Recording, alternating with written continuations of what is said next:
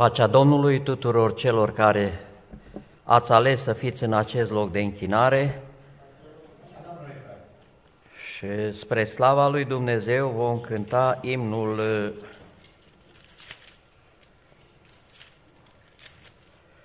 915.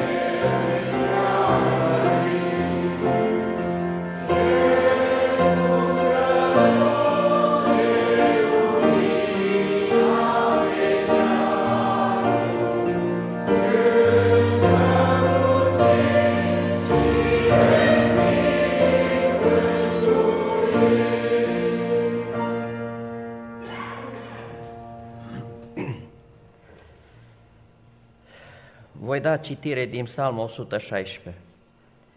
Dar am chemat numele Domnului și am zis, Doamne, mântuiește-mi sufletul.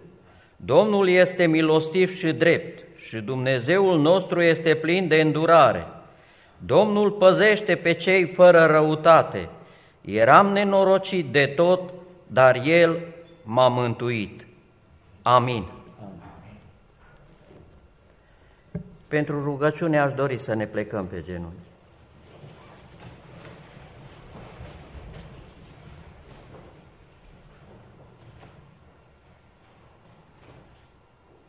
Părinte bun și sfânt, care tronezi cerurile în glorie și mărire, sfințească-să numele Tău. Amin. Vie împărăția Ta, facă-se voia Ta, în numele și în meritele Mântuitorului Iisus Hristos, ne plecăm genunchii noștri păcătoși, Doamne, ca să-ți mulțumim de harul pe care ni-l îngădui încă în viețile noastre, de pacea și liniștea pe care o îngădui încă în țara aceasta. Ajută-ne, Doamne, să fim recunoscători că Tu veghezi asupra noastră, Tu veghezi asupra copiilor Tăi și binecuvântezi pe cei ce Te urmează pe Tine. Părinte Ceresc, ajută-ne, Doamne, ca să vedem că timpul e pe sfârșit și Tu vii curând. Pregătește-ne pentru acea zi măreață a întâlnirii cu Tine, cu Tine și a revenirii Tale și ajută-ne ca să fim gata să avem parte cu Tine în împărăția slavei Tale. Părinte Ceresc, fii prezent în locul acesta și binecuvântă fiecare suflet. În numele Domnului Isus te-a rugat și îți mulțumim. Amin. Amin.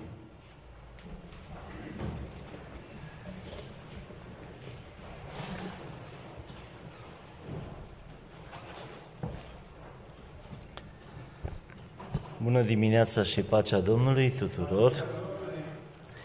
Fiți bineveniți la adunare, dragii mei, și Dumnezeu să umple inimile voastre cu bucuria mântuirii, cu bucuria că Dumnezeu ne poartă de grijă în fiecare zi și cu bucuria, așa cum spuneam aseară, că încă un an în dragostea Lui a fost cu fiecare dintre noi și cu familiile noastre. Amin. Aș dori să citesc câteva gânduri în baza cărora să lăudăm pe Domnul în dimineața aceasta, să ne rugăm Lui și El să poată să facă minunile Lui în sufletul fiecăruia dintre noi. Cei care aveți Scriptura, puteți deschide împreună cu mine la Psalmul 85, un psalm către mai marele cântăreților, un psalm al fiilor lui Core. Ehm, aici, de aici aș dori să citesc primele două versete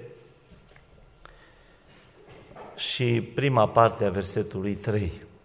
Scriptura zice cam așa. Tu, Doamne, ai fost binevoitor cu țara ta, Doamne. Ai adus înapoi pe prinși de război ai lui Iacob. Ai iertat nelegiuirea poporului tău. I-ai acoperit toate păcatele. Amin. Ce frumos! Ai iertat nelegiuirea poporului tău și i-ai acoperit toate păcatele.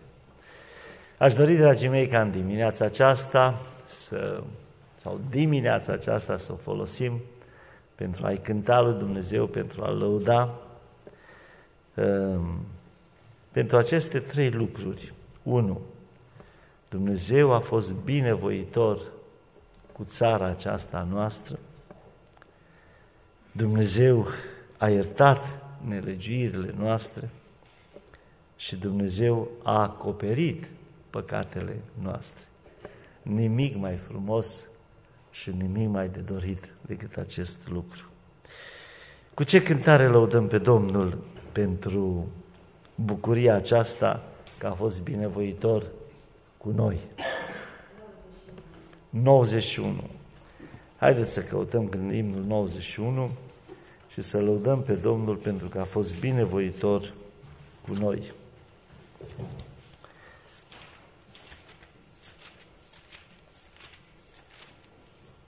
Al meu ești Iisuse și cât te iubesc. Poți să-ți instalezi chestiile între timp și ne mai... Nu, cântăm cu toată lumea și apoi ne mai cânti și tu. Al meu ești Iisuse și cât te iubesc. Mm.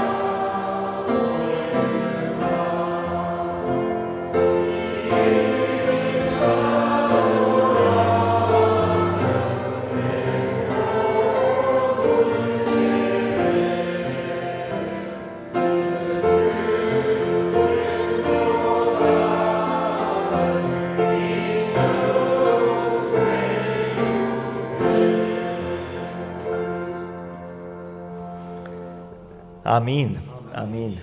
Îți cânt încă o dată și încă o dată și încă o dată, Iisus, Tu ești Cel pe care îl iubesc.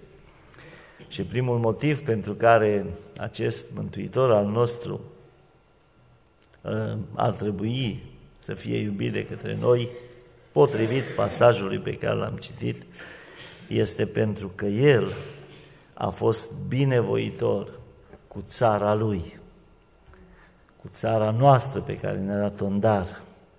Și un an de zile, fiecare zi, a fost de partea noastră. Ehm, noi ne-am rugat la masă, îți mulțumim, Doamne, pentru darul acesta de mâncare.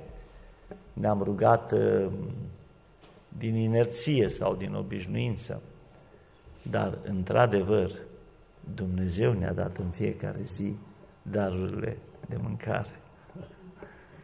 Noi tot așa obișnuiți i-am mulțumit lui Dumnezeu de sănătate, când ne-am mulțumit. Dar numai Dumnezeu ne-a dat sănătatea cât am avut-o fiecare. Unii dintre noi am mulțumit probabil pentru leafa pe care am primit-o și ne-am gândit că doar noi am muncit, dar așa se cade să-i mulțumești la Dumnezeu dar El ți-a dat leafa pe care ai primit-o. Niciodată nu ți-a dat-o altcineva și niciodată nu ți-ai câștigat-o tu, ci El ți-a dat-o. Și în acest lucru s-a văzut bunăvoința Lui, pentru care merită să spunem și încă o dată, și încă o dată, și încă o dată, Iisus te iubesc. Amin. Amin. Amin. Haideți să mai lăudăm pe Dumnezeu cu o cântare. Da, Grinel. Numărul 14.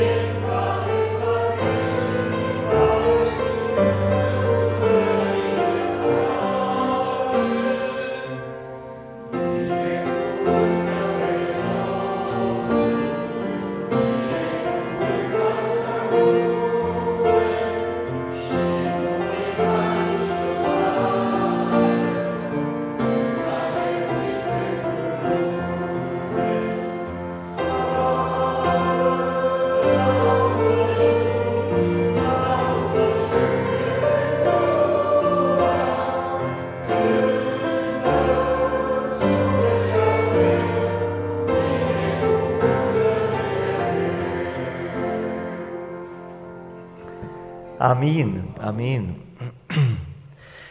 Tu ai fost binevoitor cu țara ta, Doamne, ai adus înapoi pe prinșii tăi de război ai lui Iacob. Și acum urmează două lucruri pe care le-a făcut Dumnezeu fantastice. Spune așa, ai iertat nelegiuirea poporului tău. Fie, dragii mei, ca disponibilitatea mea sufletească și disponibilitatea voastră sufletească să fie în, în această dimineață în relație cu Dumnezeu de așa manieră încât să poată să ierte nelegiuirea noastră. Amin, amin.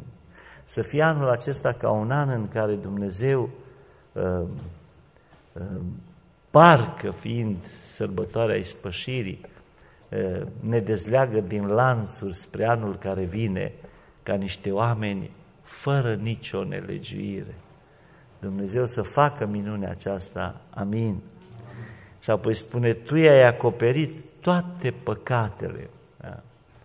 Fie ca la acest capăt de an, ă, ă, așezarea mea sufletească și așezarea ta sufletească să fie de așa natură încât Dumnezeu să vrea să pună mantia Lui peste toate păcatele noastre și nici unul din ele să nu mai fie amintit vreodată, ci să fim niște oameni care să pornim sau să fim lăsați să pornim spre celălalt an în măreția dragostei lui Dumnezeu. Amin. Aș dori ca să ascultăm o cântare pe care ne-o cântă Cristi și care să fie în inima mea și în inima voastră o rezonanță a acestei laude că Dumnezeu ne-a iertat nelegiuirea și Dumnezeu ne-a acoperit păcatele. Amin. Te ascultăm.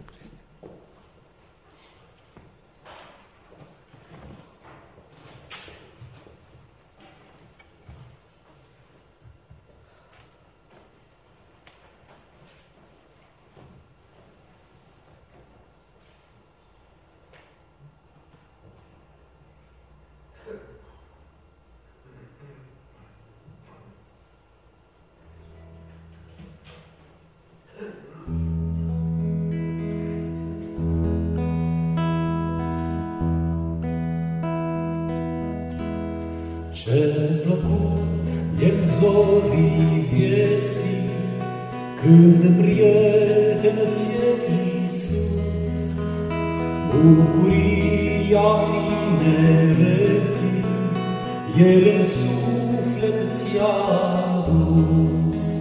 Lângă-l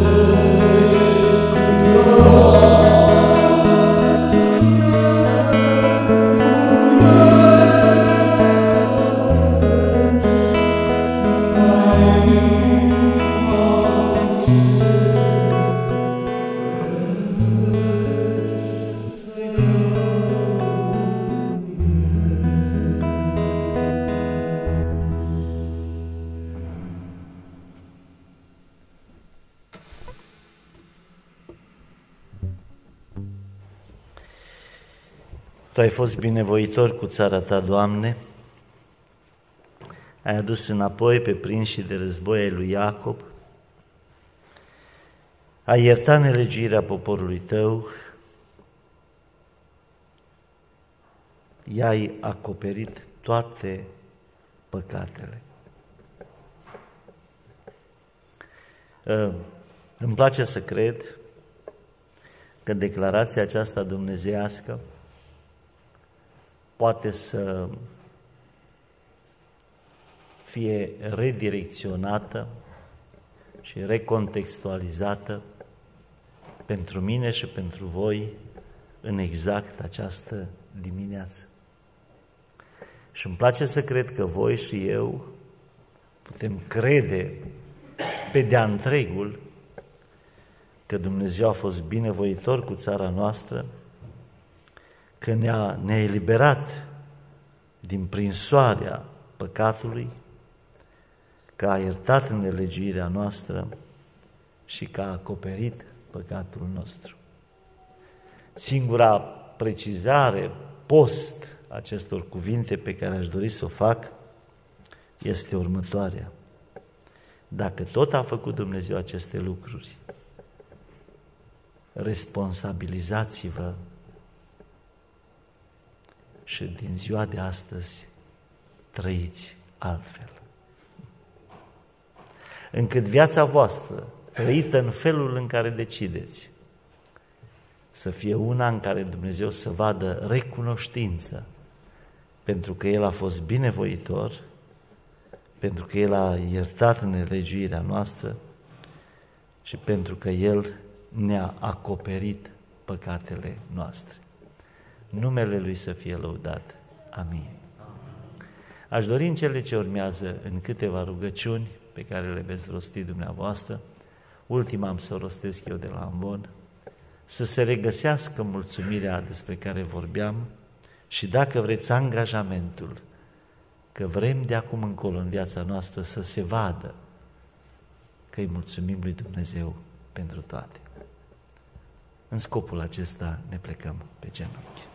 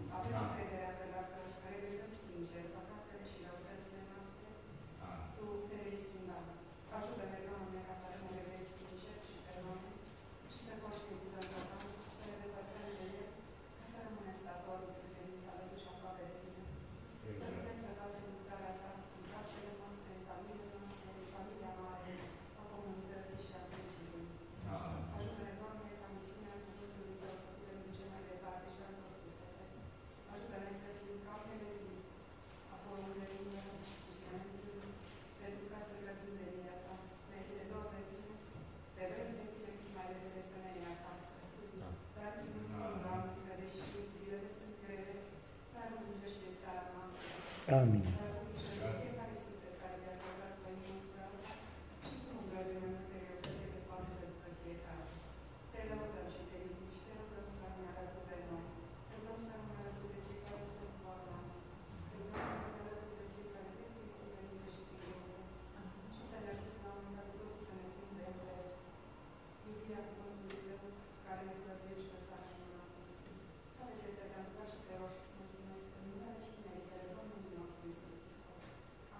Amin.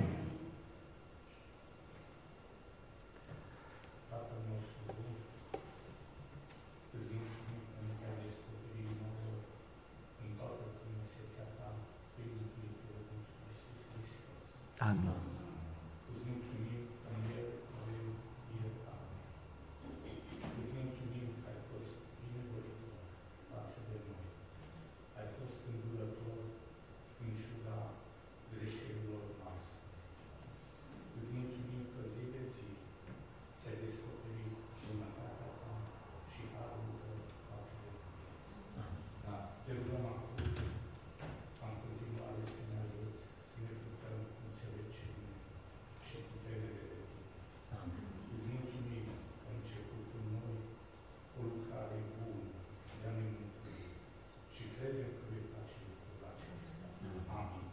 Amin. Bunule Tată care locuiești în ceruri, te rugăm ca în această dimineață să primești cântecele pe care le-am cântat spre slava Ta. Amin. Te rugăm să primești rugăciunile noastre de mulțumire pe care ți le-am înălțat. Amin. Și te rugăm prin Duhul Tău cel Sfânt să ne faci în stare să primim cuvântul pe care ne l-ai dat. Amin. Și în felul acesta, Doamne, iertarea nelegiuirilor noastre și acoperirea păcatelor noastre să fie un lucru minunat pentru noi și prin care să trăim o viață după voia Ta. Îți mulțumim că ne asculți, rămâi cu biserica noastră, cu credincioșii de aici și numele Tău să fie slăvit, Doamne, în fiecare zi prin noi. Amin. Amin.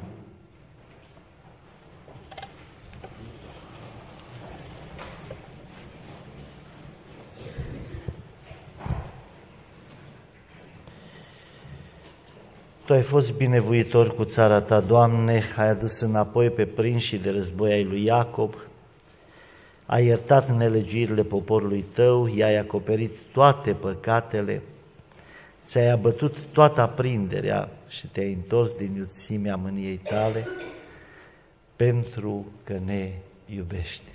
Îți mulțumim, Doamne, acum și în fiecare zi. Amin. Mai ascultăm o cântare pe care ne-o cântă Cristi și apoi vom procede mai departe cu cele care sunt rânduite. aș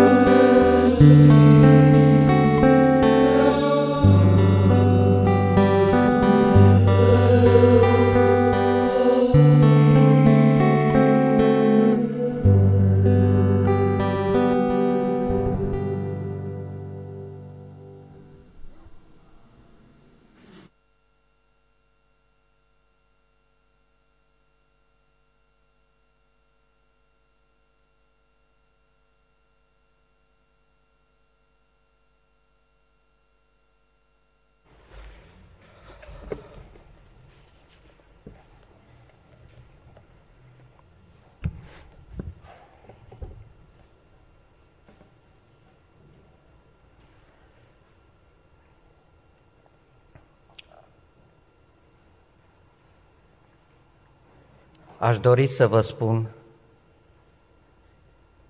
că aceste cântece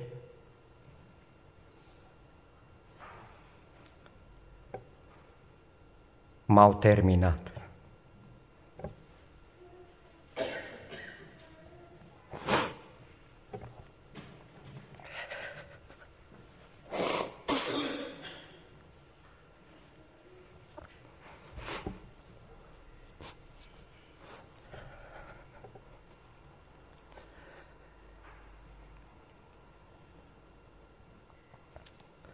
Mă gândesc mult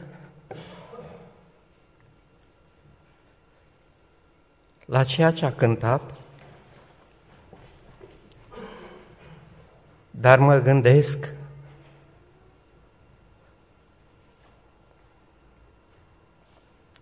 la ceea ce trăim noi.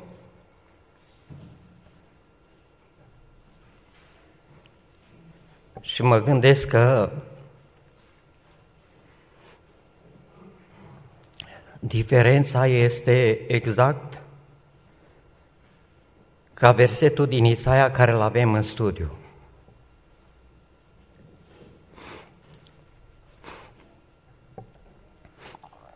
Gândurile noastre față de gândurile lui Dumnezeu și am stat și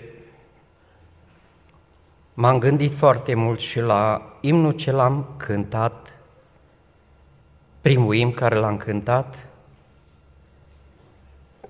al meu ești, Iisuse. Și m-am gândit, dacă Iisus este al nostru, și așa cum a și cântat în cântare, nu știu dacă dumneavoastră puteți să fiți despărțiți de cineva pe care îl iubiți.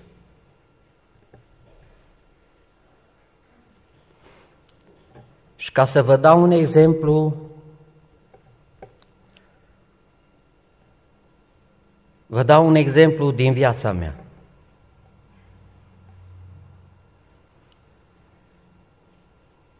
Dacă am iubit pe cineva, să știți că am făcut tot posibilul, nu a contat prin ce trec, pe unde mă duc, dar am căutat să fiu întotdeauna lângă acela pe care îl iubesc.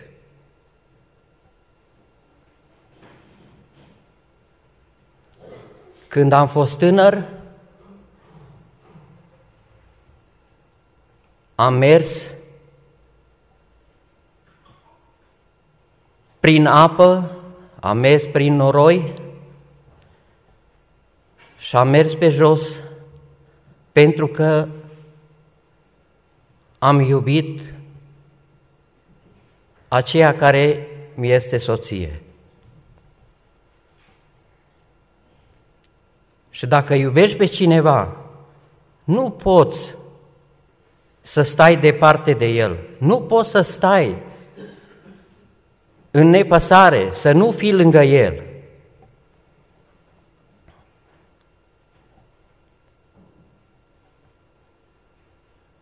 Și aș dori ca în continuare să cugetăm și să gândim foarte bine ceea ce Dumnezeu pregătește pentru noi. Și dacă găsim altă valoare mai mare ca ceea ce a pregătit Dumnezeu pentru noi, eu zic că nu merită nimic. Ce ar folosi unui om să câștige toată lumea dacă își pierde sufletul? La ce-i folosește? La nimic. Scumpii mei frați și surori, vă rog din toată inima să-L căutați pe Isus câtă vreme se poate găsi. Iar dacă îl iubim după cum a încântat în cântarea 91, atunci vom fi întotdeauna cu El. Vom fi întotdeauna cu El. Nu vom fi în altă parte. Nu vom căuta alte locuri. Locul ucenicilor a fost întotdeauna lângă Isus. Și locul nostru ar trebui să fie întotdeauna lângă Isus și cu Isus în casa, în casa sa de închinare.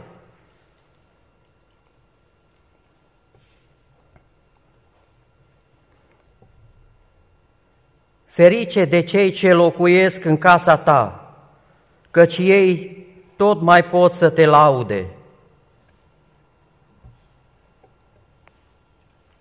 Putem să-L lăudăm și în altă parte, dar Dumnezeu ne spune, în casa mea să fiți și să mă lăudați.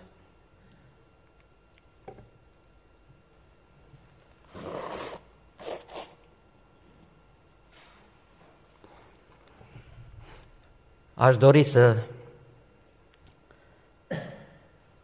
încer iertare pentru că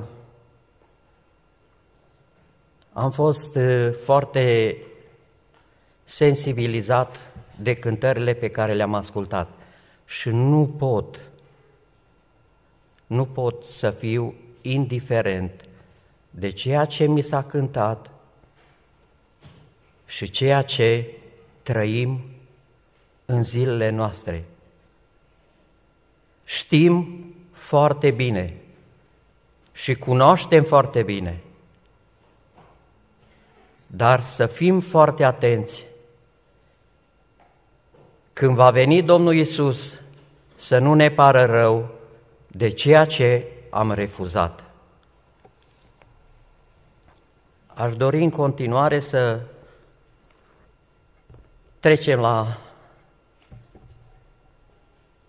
școala de sabat și aș dori ca să citesc veștile misionare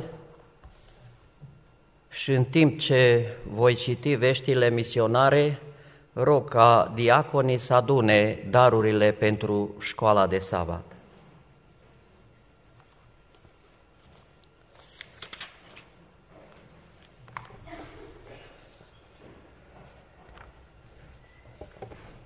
Pentru lucrarea Domnului. Experiența aceasta nu este despre mine, este despre ce face Dumnezeu prin mine și despre ce pot face, ce poate face El prin orice om care se așează la dispoziția sa. Mi-am dorit dintotdeauna să fiu un om de afaceri. La vârsta de 21 de ani am înființat prima mea companie de calculatoare pentru dotarea școlilor. Partenerul meu de afacere a fost la bun început Dumnezeu, iar El m-a binecuvântat mult.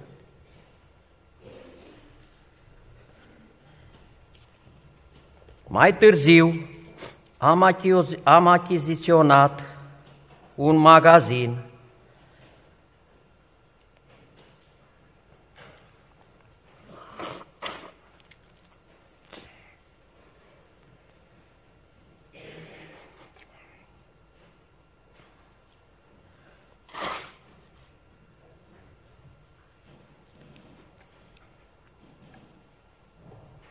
de software, de software în uh, franciză care s-a dezvoltat rapid. În 5 ani am trecut la un singur angajat, la 50 și am avut un profit extraordinar. Am oferit mulți bani pentru lucrarea misionară, dar simțeam că îmi lipsește ceva. Cu timpul am înțeles că nu era suficient să dau bani pentru misiune și că trebuie să mă implic personal. Împreună cu soția mea am decis să participăm la lucrarea lui Dumnezeu de salvare a oamenilor. Afacerile noastre au continuat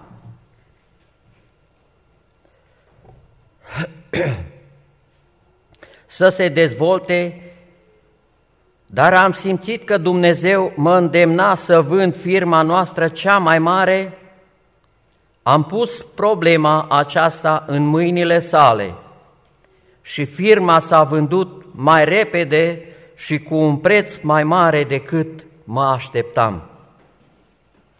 Eram conștient că Dumnezeu nu are nevoie de banii mei, și am înțeles că de fapt El așteaptă să-i dau timpul meu.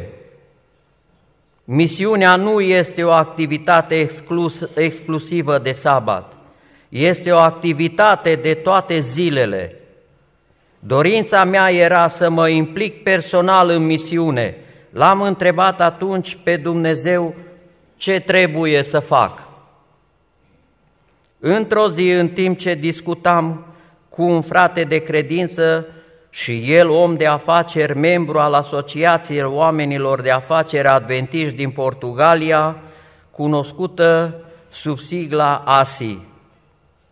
I-am mărturisit despre dorința mea de a mă implica personal într-un proiect de evangelizare. Nu mă gândeam la un proiect anume. Tot ce îmi doream era să fiu călăuzit de Dumnezeu. L-am întrebat dacă auzise de vreun proiect de felul acesta. Mi-a cerut drăgaz ca să caute. În secunda următoare însă i-a sunat telefonul și mi-a spus că era un apel important la care trebuia să răspundă. Când a revenit, mi-a spus că îl sunase un conducător al bisericii care i-a vorbit despre un proiect misionar pentru o țară în care evangelizarea nu este permisă. Pe măsură ce îmi prezenta detaliile, mi-am dat seama că acela era răspunsul lui Dumnezeu la rugăciunea mea. Țara în care urma să derulăm proiectul îmi era cunoscută. Știam limba locului și cultura și ca om de afaceri puteam ajuta. Știam că puteam ajunge acolo că mai multă, cu mai multă ușurință decât alții.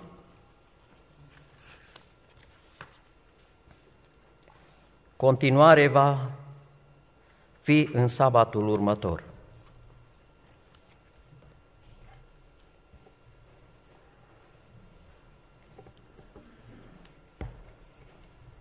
Aș dori ca în continuare să trecem la dezbaterea studiului școlii de sabat și aș dori să rog pe fratele Coman să ne țină studiu.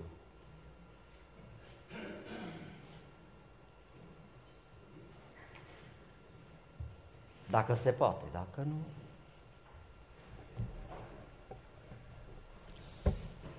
Se poate, da. Cine mai știe bună dimineața, pacea Domnului. Ehm,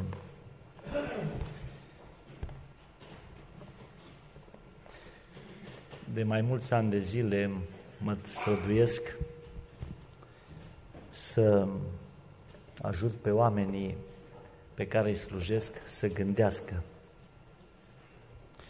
Nu vreau să supăr pe nimeni și nu vreau să am uh, vreun necaz cu cei care sunt superiorii mei. Dar am o rugăminte la voi decât să citiți chestia asta din care nimeni nu înțelege nimic și toți stați și dormiți, mai bine citiți un verset biblic, îndemnați pe oameni la misiune și gata, și faceți colectă. Aș vrea să se ridice cineva să povestească ce a citit fratele Fodor.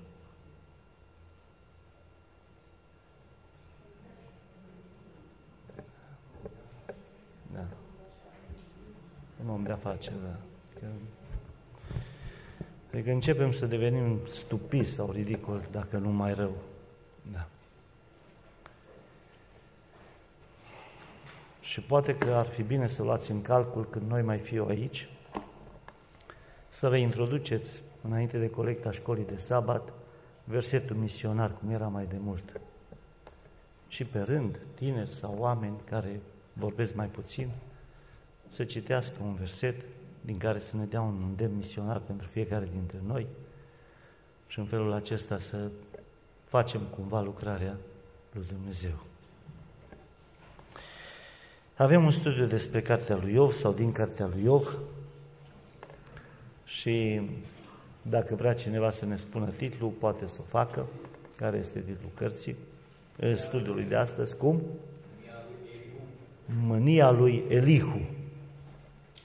Ar putea cineva să-mi spună câteva cuvinte despre Elihu. Cine era Elihu?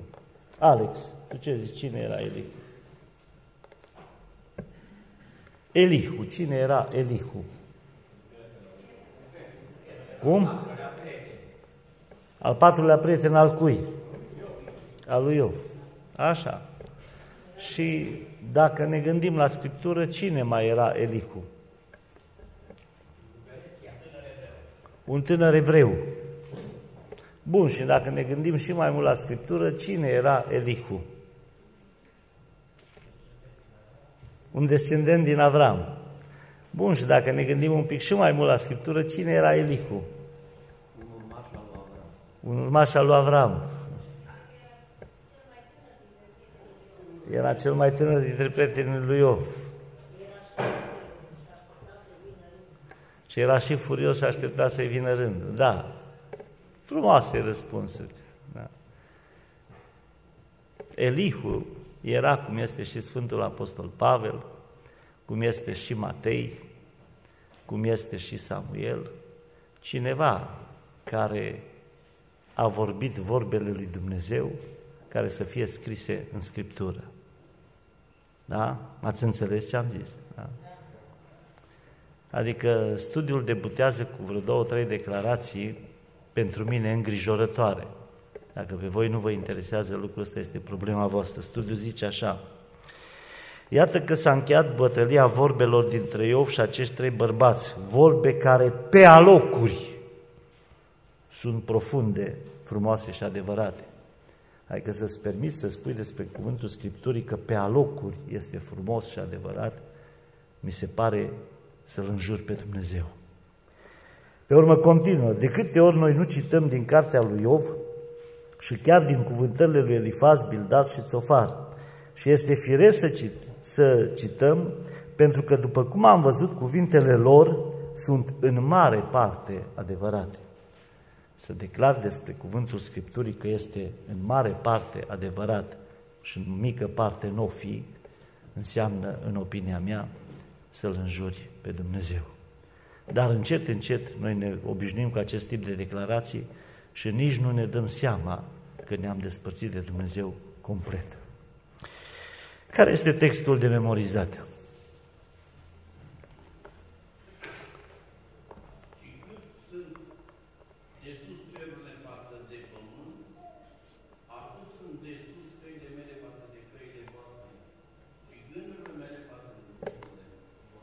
Bun.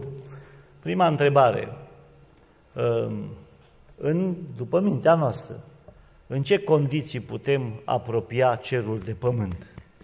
Să le lipim de oaltă, cum lipezi eu Biblia de studiul acesta. În ce condiții se poate face asta? Cum? Nu, nu, nu, nu, n-ați înțeles. Cerul în ce condiții poți lua cerul și să-l aduci tu și să-l apropii așa de Biblie? Cum? În nicio condiție. Nu se poate face lucrul ăsta. N-ai cum. Nu, nu. Bun, acum ă, nu știu exact despre ce distanțe e vorba, dar am auzit că ar fi, unii dintre oameni s-ar fi dus la lună. Au mers la lună, dar au dat de cer. N-au dat. Am auzit că au fost trimiți sateliți pe Marte, dar au dat de cer. Deci este o distanță severă, depărtată sau nu? Foarte îndepărtată, nu? Bun, și acum Dumnezeu vorbește despre gândurile Lui și despre gândurile mele. În ce situație pot eu să iau cerul și să-l apropii de țărână de pământ? În ce situație? În niciuna. Ei, acum, în ce situații gândurile mele omenești s-ar putea apropia și asemăna cu al lui Dumnezeu? În ce situație? În niciuna. Păi asta vreau să înțelegeți, fraților. Că nu are nicio legătură ceea ce gândim noi oamenii cu ceea ce gândește Dumnezeu. Asta spune Scriptura.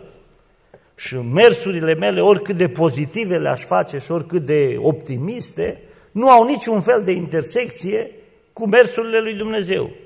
Pentru că atât de departe cât sunt celurile de pământ, atât de departe sunt cărările pe care umblu eu ca om și cărările pe care umblă Dumnezeu.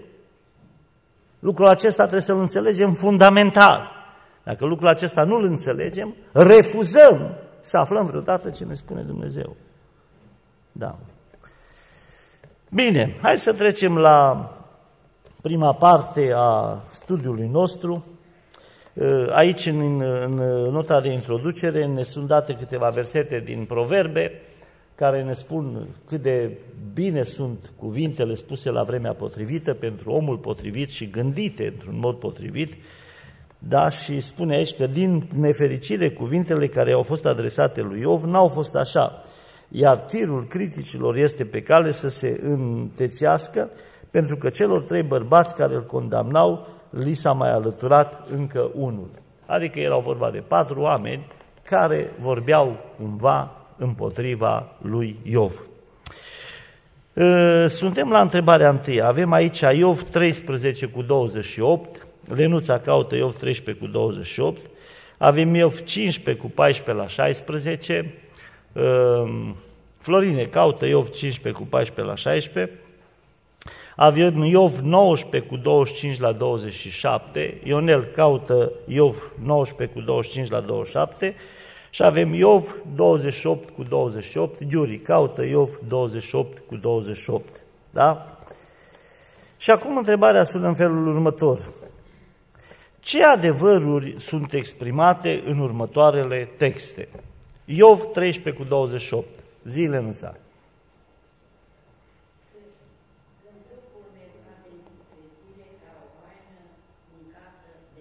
Mai zi încă o dată. Când trupul meu cade în putrezire, haină gata de moli. Deci ce adevăr este exprimat în declarația aceasta din cartea lui Iov? Uh, Liviu. Moartea. Adică neputința oamenilor de a depăși o situație de felul acesta. Primul adevăr. Bun. Iov 15 cu 14 la 16. Florin.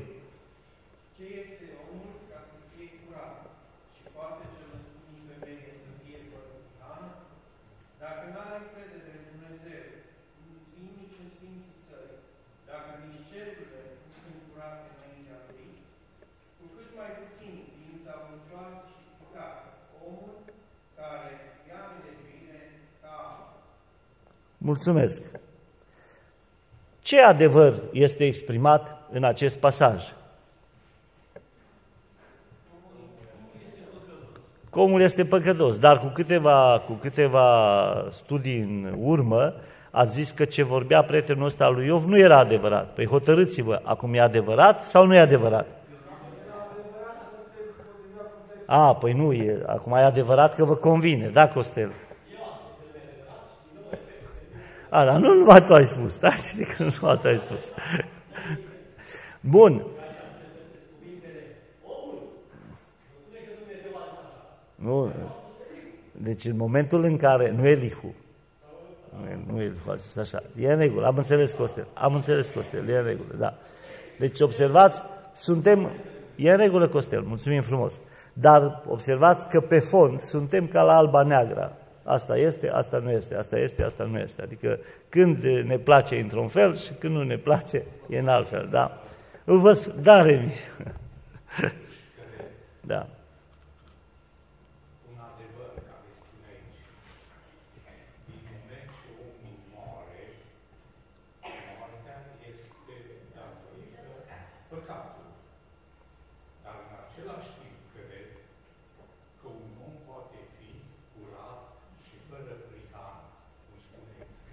Da, mulțumim. Sigur că, da, Șoanie.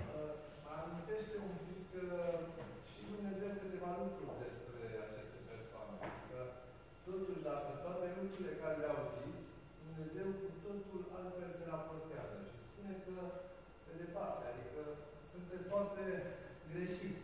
Acum nu știu din ce perspectivă trebuie să cântărim lucrurile acestea. Adică din partea lui Dumnezeu sau din partea omului. Da, mulțumesc. Uh, Șoani aduce în, uh, în centrul discuției noastre un lucru foarte interesant, pentru că la sfârșitul uh, cărții, când ei se duc la Dumnezeu și simt că au făcut ceva rău, își cer iertare, încearcă să-și ceară iertare și Dumnezeu le refuză iertarea aceasta, precizând faptul că voi nu ați vorbit așa de corect despre mine, cum a vorbit robul meu Iov. Așa, Eh, dar eh, să fiți foarte atenți, că nu spune voi ați vorbit rău despre mine, ci spune nu ați vorbit așa de corect. Adică să fiți atenți la nuanțele textului. Da, Șoali? Da, te rog, sigur că da. E chiar bine că mi-aduce aminte.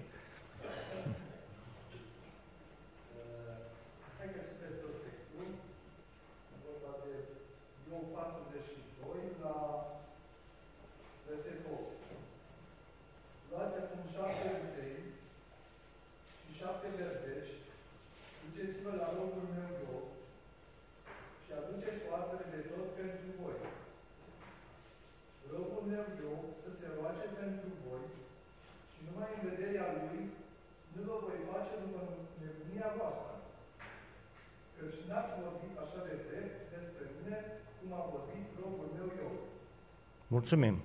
Da, corect. N-ați vorbit așa de drept despre mine, cum a vorbit robul meu Iov. Da, frate, vă rog. Da. Dumnezeu a scris în Biblie cât a socotit El. Acum, dacă e tot sau nu, nu am un răspuns la întrebarea aceasta. Nu știu. Da. Bine. Hai să vedem ce adevăr se exprimă în următorul text. Iov 19 cu 25 la 27.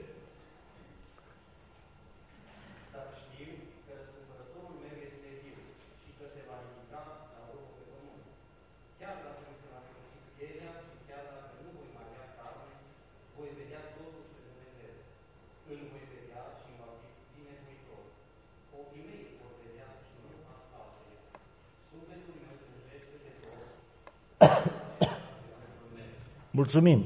Ce adevăr este exprimat în pasajul acesta?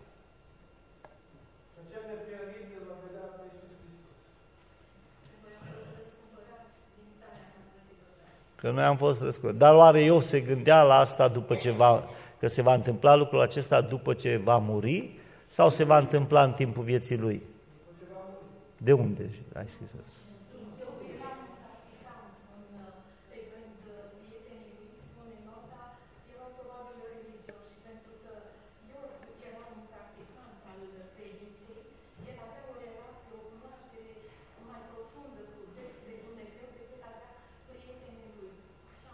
Da, e în regulă, n-am nicio problemă. Dar eu întreb.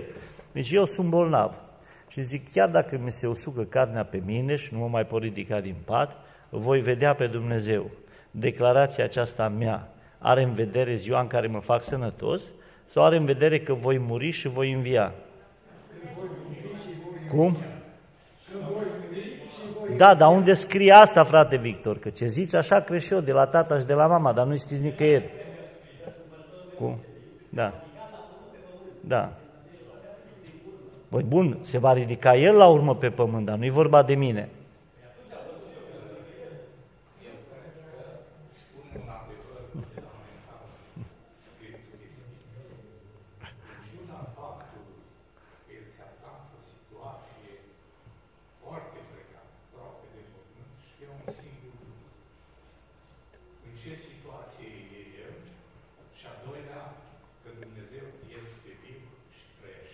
Da, mulțumim, mulțumim. Ehm, ar mai fi o chestie de precizat. Ehm, când am citit acolo în Iov 13 sau când, știu, e un adevăr fundamental că vom muri, mă rog, în sfârșit. Și Remi a spus că omul păcătuiește și din cauza asta va muri, dar totuși sunt oameni care pot să trăiască neprihăniți. Dar declarația pe care a făcut-o Remi nu este absolută, pentru că sunt oameni care n-au murit.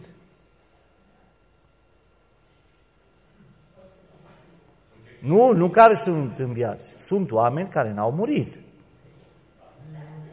Dar de ce ziceți da numai cu o jumătate de gură? Deci sunt, nu, sunt doi pe care știm noi doi. Dar nu avem noi să știm noi câți n-au murit.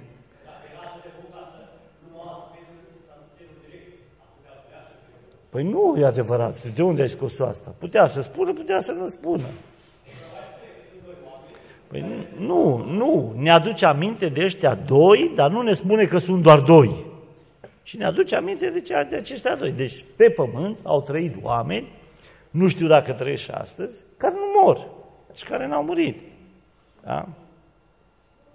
Și vor mai fi, habar n-am. Adică nu puteți face abstracție de realitatea aceasta doar pentru că vreți să fie altfel. Nu? Hai să vedem ce adevăruri sunt exprimate în textul din Iov 28 cu 28.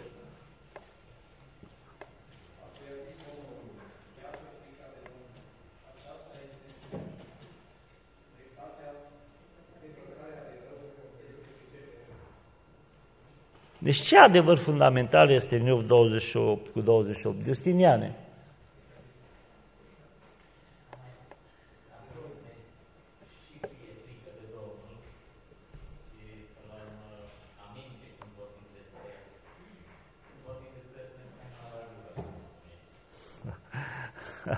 Zice Justinian că un adevăr fundamental care ar mai trebui să mai ținem cont este că atunci când vorbim despre Dumnezeu să ne punem mâna la gură, adică să vorbim tăcând, da?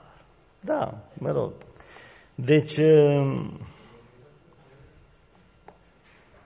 uh, observăm aici, subtitlul, subtitlul este Mesaje de încurajare deplorabile, da? Adică mesajele de încurajare de aici sunt uh, jalnice sau de înspăimântat, da? Omul moare, nu este niciunul care să poată să fie sfânt, Ehm, dacă vrei să vorbești despre Dumnezeu, mai bine să taci, da? Ehm, e foarte interesant. De obicei, despre de felul acesta de vorbire, ehm, ne, ne eschivăm, da? Sau ne ferim. Dar, zice așa, fiecare participant la confruntare vine cu argumentul lui și niciunul nu renunță la punctul lui de vedere. Elifaz, Bildad și Țofar susțin fiecare în stilul propriu și după agenda proprie că oamenii primesc în viață ce li se cuvine și că necazurile lui Iov trebuie să fie uh, dreapta pedeapsă pentru niște păcate ale lui.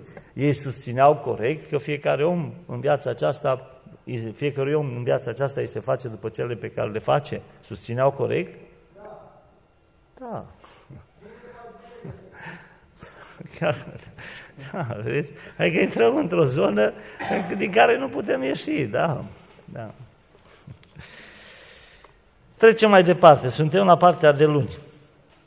Apare uh, un personaj uh, nou, spunem noi, în, în uh, imaginea de acolo, pe nume Elihu.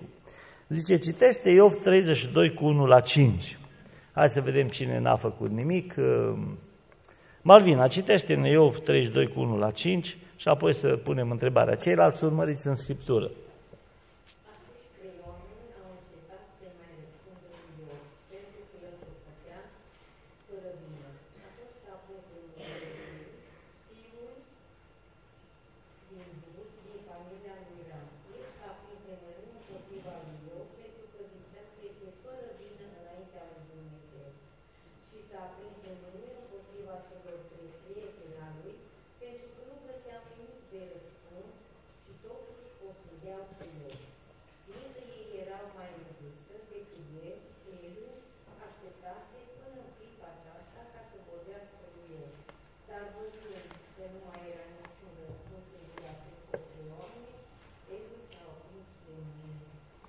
Deci, din ce cauză s-a mâniat Elihu pe ceilalți bărbați?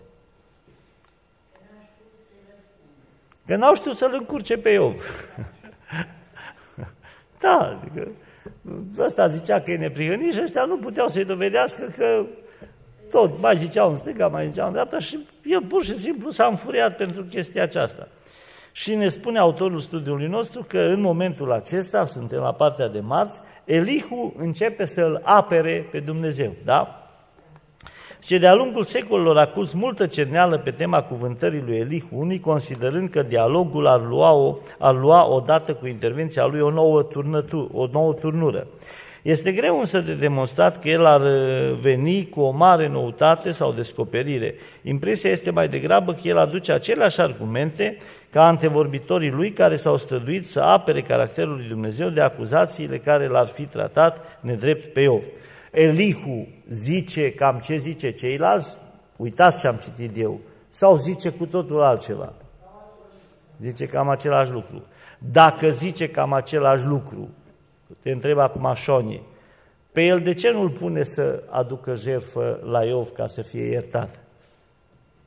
Da, Costele.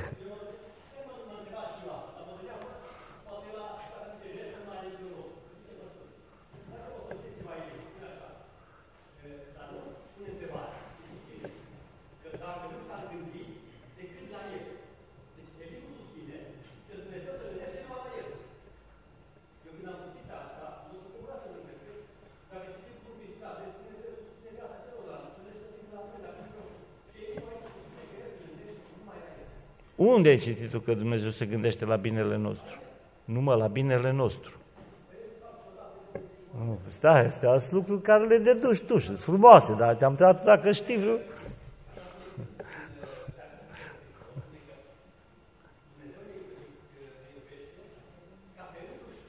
Am înțeles, de acord. Dar asta nu zice ce, am, ce ai zis tu. Păi da, dar s-ar putea să mă, adică s-ar putea ca eu să-l iubesc pe Robert gândindu-mă numai la mine. Nu, ia, mai gândește-te că dacă te gândești mai mult, s-ar putea să fie chiar adevărat. Poate că așa era, nu știu. Am înțeles, Costel, e regulă. Eu am întrebat, da. Da, păi te gândești numai la tine. Ia, mai, mai stai un pic și mai gândește-te să vezi la cine te gândești. Da. Hai să vedem, Iov 34 cu 10 la 15. Cine ne citește pasajul acesta? Irina. Iov 34 cu 10 la 15. Citește-ne puțin și apoi să punem întrebarea. Nu ne citești. Ce, Petrică, ce? El e cu ce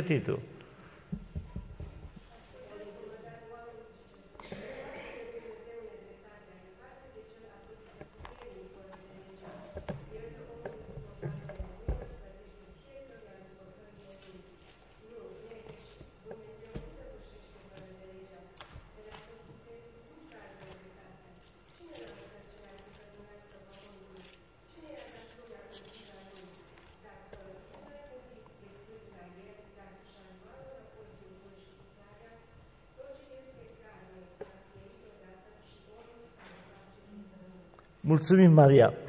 Uite ce declară aici Elihu. Zice, Dumnezeu dă omului după faptele lui și răsplătește fiecăruia după căile lui, pe cale de consecință. Iov ce a pățit de la Dumnezeu?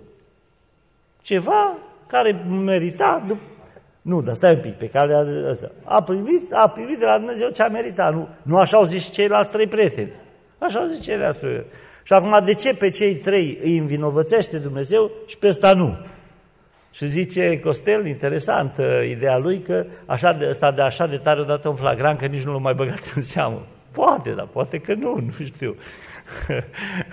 da, da. Nu, acum stați un pic, întrebarea zice așa. Ce adevăruri prezintă Elihu? Ele, ce au ele în comun cu cele prezentate de antevorbitorii lui? De ce sunt și ele la fel de inoportune. Bun, dar nu puteam să spunem asta de acum trei luni? Adică nu vedeți că de trei luni noi vorbim numai prostii? Adică oamenii aceștia vorbeau lucruri reale, dar vorbeau cu, despre un caz care nu era în discuție. Iar Dumnezeu notează lucrurile acestea în Scriptură pentru ca noi să aflăm lucruri reale despre Dumnezeu, dar să avem grijă să nu le vorbim într-un context în care nu se potrivesc.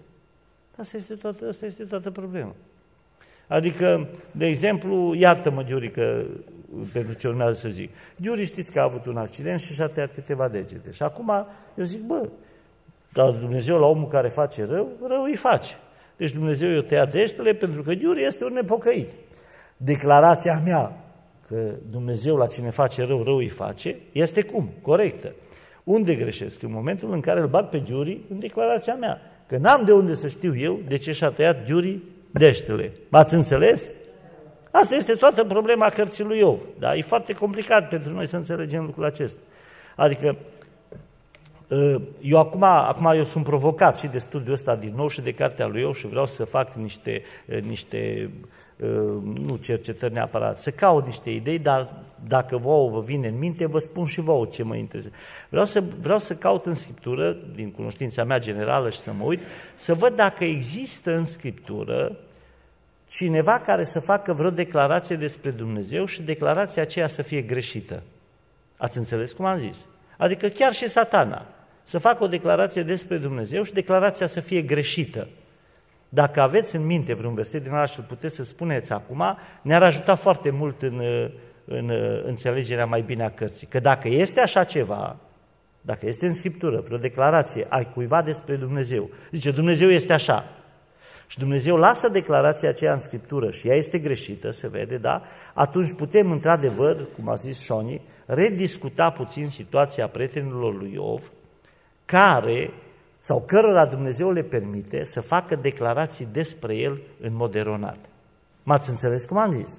Însă pentru momentul acesta, așa cum am gândit eu, imediat revin, așa cum am gândit instant, fără să fiu uh, adus la zi, nici peste tot pe unde se fac declarații despre Dumnezeu în Scriptură, de, declarațiile despre El sunt corecte.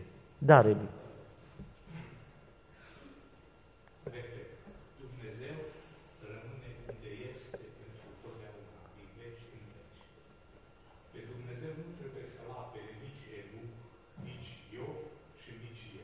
Absolut. Dumnezeu, El însuși, are dreptate și este drept. Dacă se întâmplă nedreptate sau lucruri încurcate, se întâmplă la noi și la neînțelegerea noastră a Scripturii. Vorbim despre eu. Pentru mine personal, învăț câteva lucruri esențiale. Unu. Mânia, indiferent sub ce formă o pune, indiferent cum o apărăm cu Scriptura, mâniați-vă și nu păcătuiți, nu e derivat din Dumnezeu. Are o altă origine. E de discutat. Pe discutat, că Dumnezeu s-a mâniat pe ei și i-a pustit.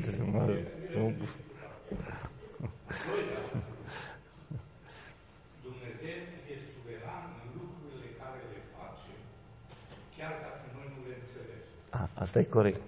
Și ceea ce probabil nu veți fi de acord nici tu, nici alții, A, nu, stai liniștit. e punctul de vedere în care cred. Nu întotdeauna ți se întâmplă după cum faci.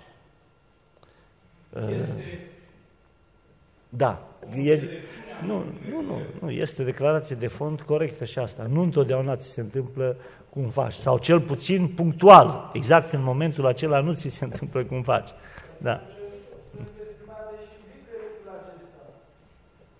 Când credinciosul Doamne, pe dar a, cum faci așa și după aceea când a spus mai departe și a văzut că de fapt care e sfârșitul lor, Da, da, corect. Bine, deci uh, suntem la ziua de marți, da? De miercuri. Da, caracterul irațional al răului. Zice, toți aceștia patru oameni care credeau în Dumnezeu, care credeau că El este drept, au ajuns într-o dilemă. Cum puteau explica ei situația lui Iov în mod rațional și logic și în același timp în concordanță cu convingerile lor despre caracterul lui Dumnezeu? Uh, Eu, din partea asta pe care am citit-o, am o altă, am următorul răspuns. Uh, Când e o situație din asta, e mai bine să taci. Adică nu te-a pus pe nimeni pe tine să explici, să explici chestia asta. Taci, domnule, nu, nu pricep. E mare lucru să zici că nu pricep? Nu pricep, nu? Păi dacă acum ar predica aici unul în limba uh, coreană și l-aș chema pe Vasile, Vasile, hai și tradul. Și Vasile vă zice, cum să fiu frate comp? Hai mă și tradul pe ăsta că predică în coreană. Păi și el zice, bă frate, bă, nu știu limba coreană. E complicat să zică. Păi nu e complicat, cum? Păi domnule, dacă nu știu limba coreană, cum să-l traduc? Păi așa, domnule, dacă nu știe el, păi zi, domnule, nu știu și taci. Nu? da. Este imposibil să explicăm originea păcatului și să găsim un motiv pentru existența lui. Păcatul este un intrus pentru a cărui existență nu poate fi găsit niciun motiv. Este misterios, inexplicabil, alt scuza înseamnă a-l apăra. Dacă s-ar putea găsi vreo justificare sau vreo cauză a existenței lui, ar înceta să mai fie păcat. Da, este un pasaj uh, al prorocului Elenoai pe care autorul îl folosește în contextul celor pe care oamenii aceștia încercau să le explice în relația lor cu Iov. Întrebarea a patra. Citește pasajul din Ezechiel 28 cu 12 la 17 despre căderea lui satana și despre apariția răului. Ce explicație este dată aici pentru căderea lui? Hai să vedem dacă găsiți, este acolo un lucru foarte interesant, punctual. Știți pasajul, nu? Cum?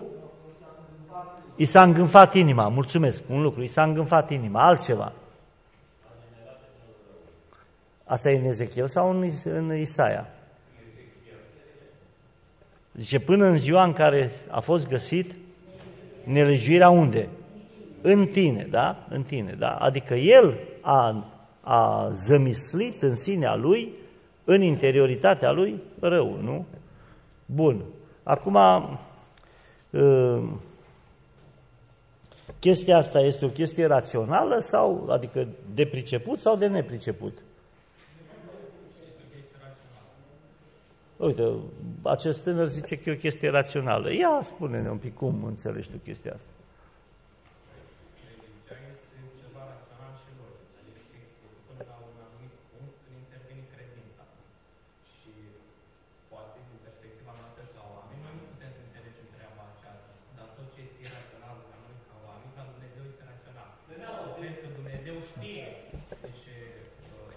Spune el că, spune el că uh, religiozitatea este o chestie rațională și logică până la un moment dat în care intervine credința, dar cu toate acestea, tot, toată realitatea pe care noi nu putem percepe rațional sau logic, pentru Dumnezeu este rațională și logică.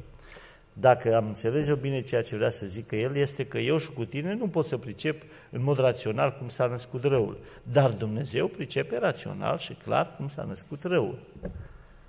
Declarația poate să fie corectă. Da. Păi nu există.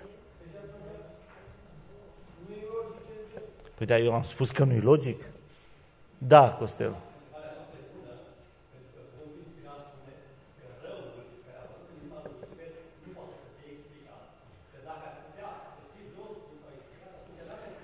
Nu, nu poate fi explicat de noi.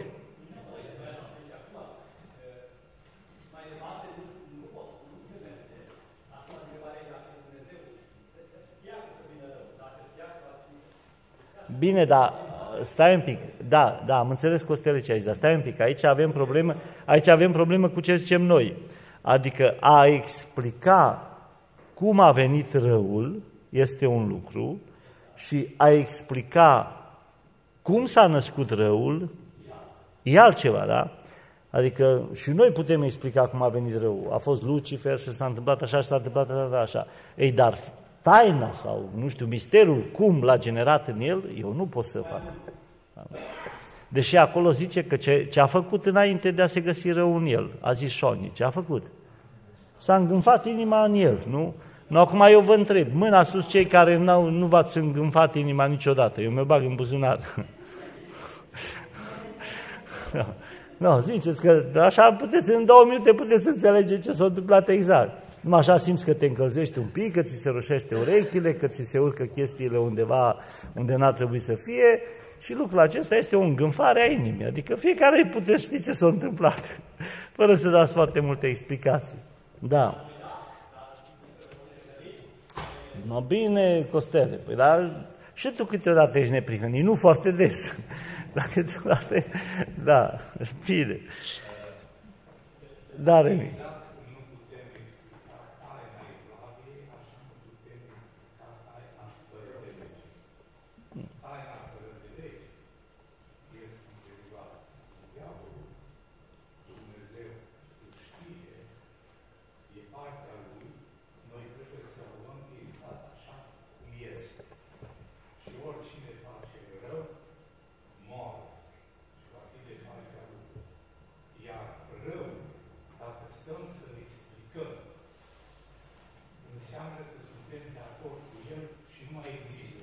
Mă, acum eu, eu, eu aș retrage ce ai zis, că de multe ori explici chestia asta.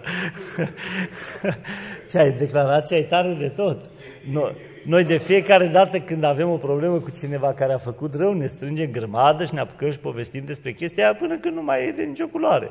Nu, deci când e rău, zici, pică ghilotina și la revedere. Da, ai zis corect. Numai eu am zis că ai grijă că poate s-ar putea să fie folosit împotriva ta.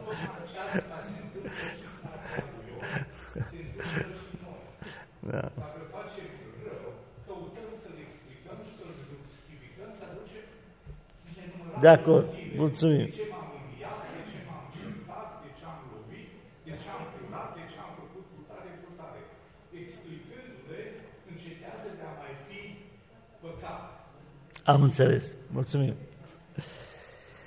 Așa, zice, personajele principale din cartea lui Iov sunt niște simpli muritori care vedeau ca într-o oglindă în chip întunecos, care aveau o perspectivă foarte îngustă, o înțelegere foarte limitată despre lumea materială, dar și mai limitată despre lumea spirituală.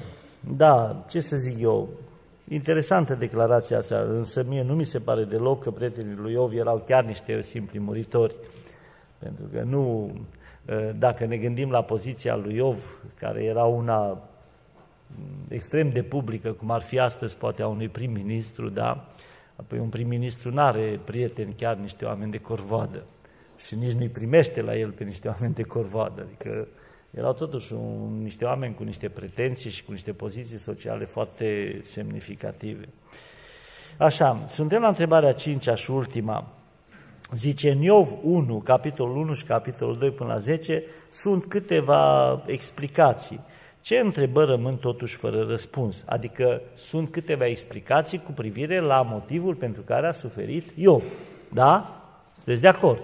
Adică ne spune că Lucifer s-a dus la întâlnirea cu Dumnezeu, Ehm, Dumnezeu l-a întrebat de unde vine, i-a spus că vine de pe pământ, Dumnezeu îi spune, l-ai văzut pe eh, prietenul meu eu, e un om neprihănit și așa mai departe, eh, satana îi spune, păi normal că e neprihănit pentru că are tot ce îi trebuie și așa mai departe, mă rog, eh, aici, aici noi știm de ce a suferit Iov, da? Dar care sunt lucrurile care rămân, zice autorul, zice, rămân totuși câteva întrebări fără răspuns. Care ar fi acelea?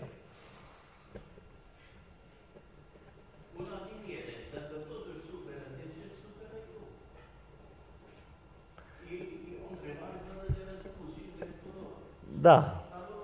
Dar eu pot să dau un răspuns la întrebarea asta.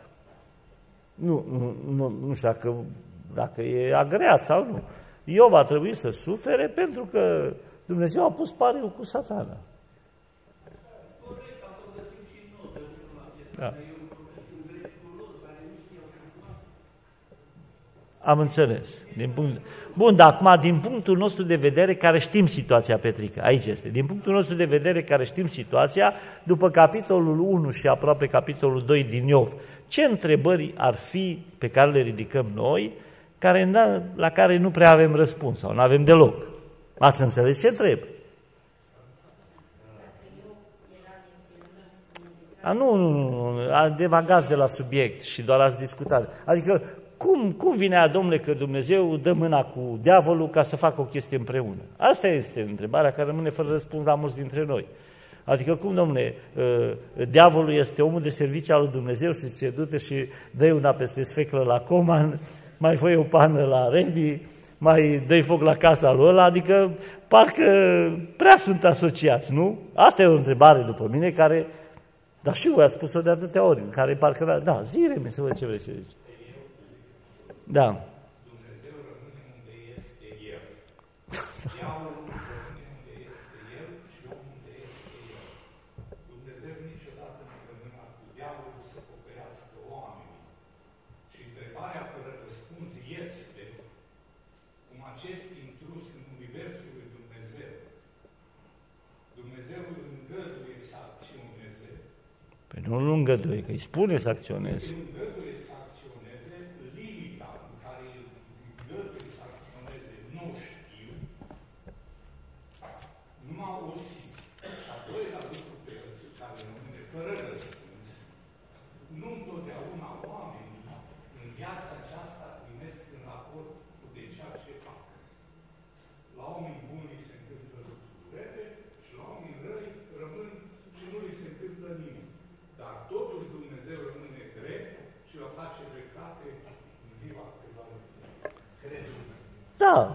میکردم ده سالی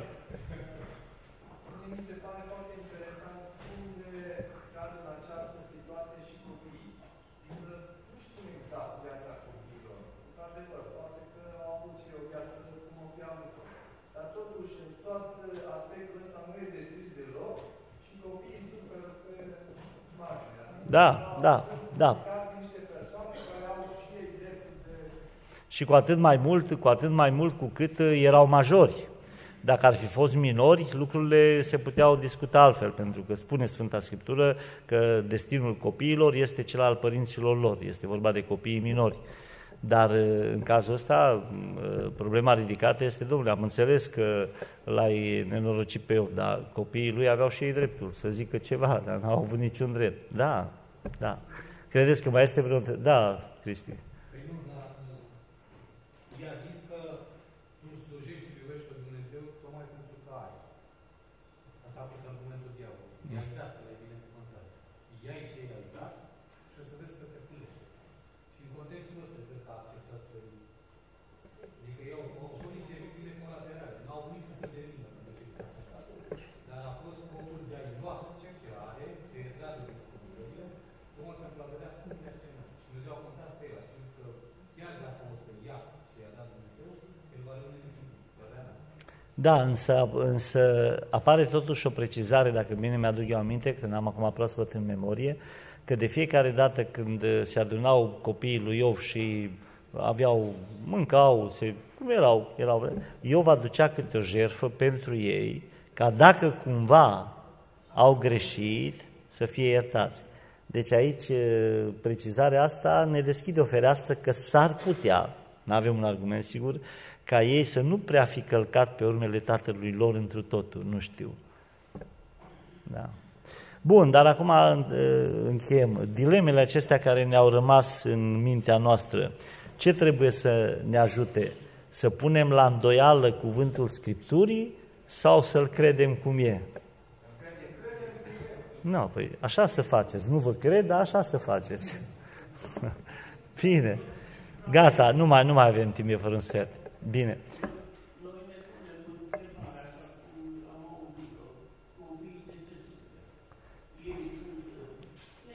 Dragii mei, eu, eu am un... ră- Și la ei, da, așa este. Dar eu am un răspuns la întrebările de felul acesta. Eu zic, ai grijă ce îndrept, că s-ar putea să se facă bube la gură sau la șezut. Adică lăsați-l pe Dumnezeu să-și facă treaba și voi citiți ce e de înțeles și faceți ce este de înțeles pentru ca să fiți copii ai Lui. Da.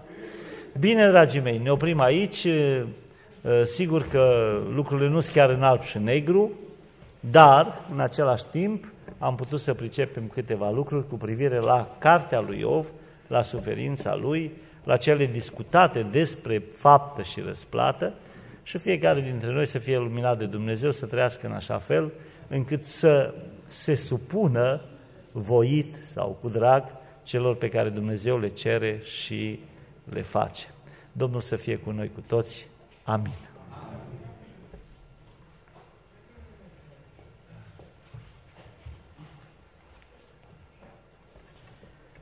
Îi mulțumesc fratelui Iacob că m-a ajutat în, la școala de sabat și Domnul să-l binecuvânteze și în continuare. În încheierea școlii de sabat vom cânta imnul 407, Cu tine, Domnul meu iubit.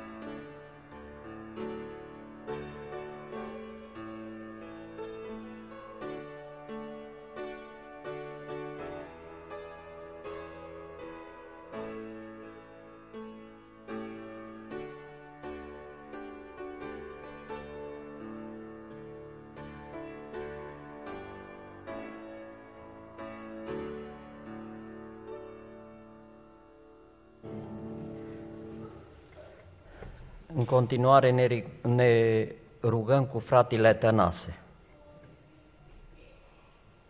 Domnul nostru, Tată care locuiești în cer, în aceste momente venim înainte ta, cu punere cu recunoștință pentru tot ceea ce ai făcut pentru noi. Amin.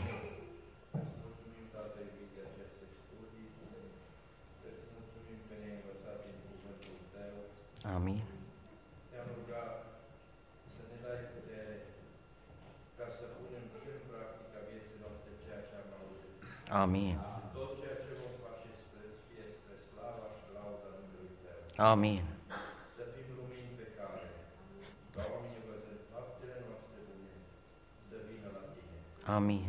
Îți mulțumesc că ești bun cu noi și că ne iubești. Numele Tău să fie binecuvântat în veci. Amin. Amin.